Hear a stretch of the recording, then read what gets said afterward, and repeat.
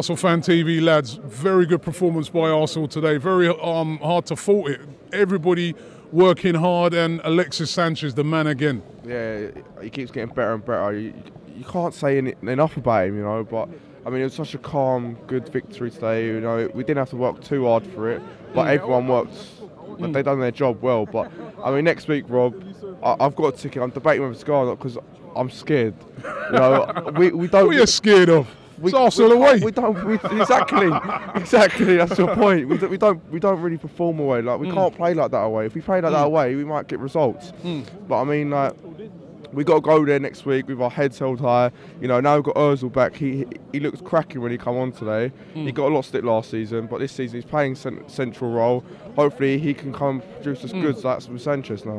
Why, why can't we play like that when we go away to Stoke? Why didn't we play like that? I've asked myself that question so many times. Just we just falter against the big teams, but I thought today was brilliant. But it's all right beating the teams like Stoke at home. As you say, we have to go to City, places like that, Liverpool where we bottled it. We need to get there and go there and get a win because it sends out a message.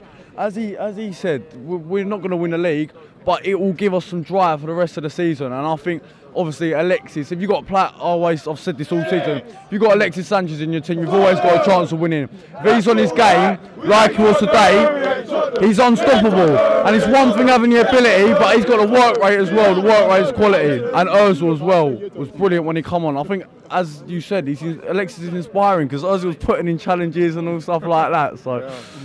I mean, I, I, I'm glad Coquelin keeps playing because he's, Oh, he's yeah. deserved his place. He's deserved his place. He's making great challenges. He's, he's, a, he's a disciplined player now. Mm. I mean, I still think we need another CDM, but he's he's a great one to have alongside, you know, Khedira or Pogba. Not, Mm. I'm not saying we're getting them, but you know what I mean. Like, so yeah, I'm, I- I'm pleased. Stop dreaming. I feel more. I feel, I feel much more. More comfortable with Coquelin. I've said this since the West Ham game. I just feel like the team's so much more balanced with a. Uh, a player, as I said at West Ham, he can drive, he can turn, he can he can defend. He's a good player, and I feel so much more comfortable than with Flaminio Arteta, who are veterans now. They're not going to win us the leagues, but Co- Coquelin, he's doing a really good job at the moment. So good on him. Sanchez was like a red hot chili, you know what I mean?